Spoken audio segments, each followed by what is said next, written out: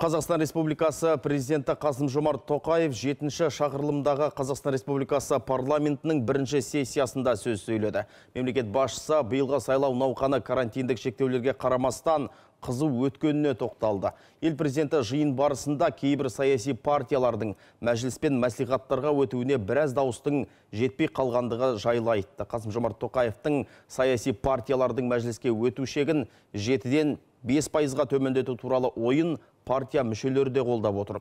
Айтуларынша аталған норма заң жүзінде тіркелген партияларды алдағы сайлауға қатысуға ынталандырады.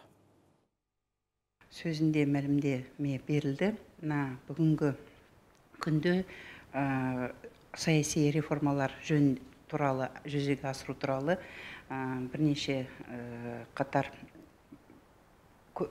бірнеше көрсетті өзгерістер болатын туралы әсіресе саяси партия үшін мәжілісте өту үшін жеті пайыздан бес пайызға дейін төмендету туралы және де барлық деңгейдегі сайлау бюллетендерінде сондай барлығына қарсы деген енгізу өз пікірін білдіріп жатыр.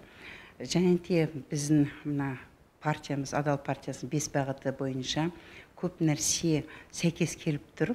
Ол кісінің мына қасым жомарт тоқаевтың мәлімдемесіне бойынша